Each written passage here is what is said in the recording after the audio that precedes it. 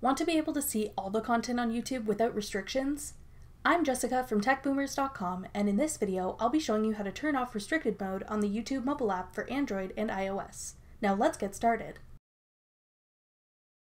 To begin, open the YouTube app. Tap your profile icon in the top right corner. From the menu that appears, select Settings. Tap General. Now, tap the switch beside Restricted Mode to disable it.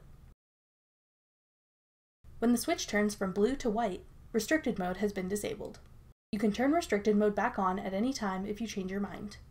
That's all it takes to disable Restricted Mode on the YouTube mobile app for Android and iOS. Thanks for watching.